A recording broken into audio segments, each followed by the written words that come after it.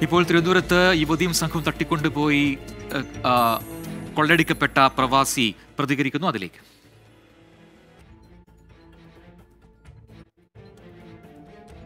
fully of that steel and people will die it's like jail they will be die and how government approving these kind of things the second the first floor is fine second floor is full full of steel if you're touching the whole room is getting hot and no AC at all how you feel that one And how government is approving this kind of work the people are staying in the top floor was the money purpose and I asked the, the, owner also he didn't give an explanation for that and I asked approval he said no it's new everything is zero then how they are running these kind of things if someone happened, and also lake, what happened at 12 o'clock, the threatening me, they told if you're not giving money and put the stone and the belt and put in the stone inside, then what will happen? Said, yes, it's a lake.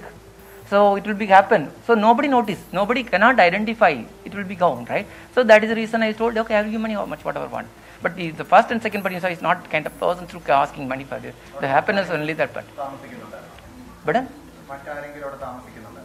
Yes yes yes. Oh, but people are coming and going like that. But it's like uh, like the film like you know like isolated place and like a criminal area like that. It is not like a resort. It's like you know no cleaning and all. And if you are going like ghost area like that i don't know how they are uh, it's the first time i'm seeing. Even we cannot run it also i plan to go out there telling where we can go. I don't know where i cannot run. it